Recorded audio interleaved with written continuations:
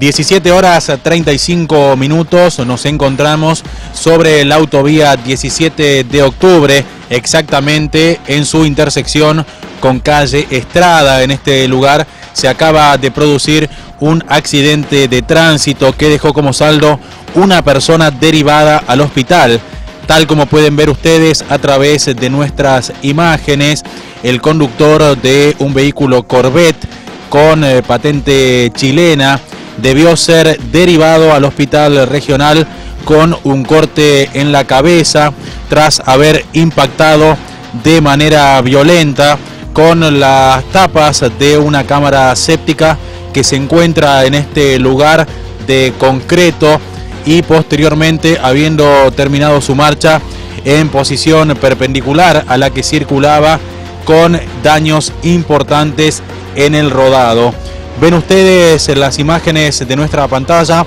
un vehículo que llama la atención de quienes transitan por este lugar, principalmente por tratarse de un vehículo importado de alta gama. Desconocemos a la velocidad en la que transitaba justamente el conductor de esta unidad porque decimos el impacto fue importante. Ven ustedes también las tapas de esta cámara séptica ambas quedaron dispersadas a algunos eh, centímetros de este lugar, tapas realmente pesadas justamente que fueron desplazadas tras el impacto de este vehículo de origen chileno.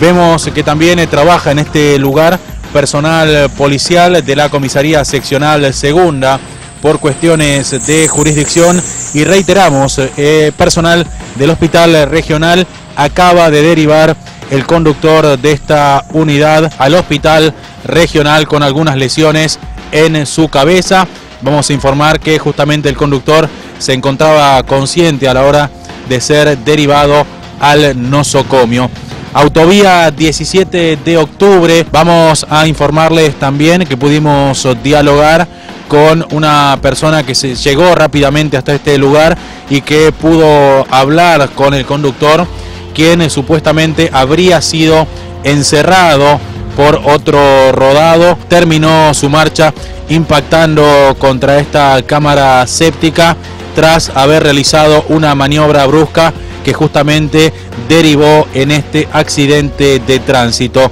17 horas 35 minutos, autovía 17 de octubre y Estrada, escenario de un nuevo accidente de tránsito, en este caso con un vehículo de alta gama involucrado en este siniestro, al parecer y hasta el momento el único rodado que queda en este lugar y que tuvo que ver con este accidente de tránsito. Seguramente personal policial se encuentra abocado en este momento a la investigación nuevo siniestro vial, en este caso a través de nuestra pantalla, mostrando todo lo que sucede en materia vial en nuestra ciudad capital.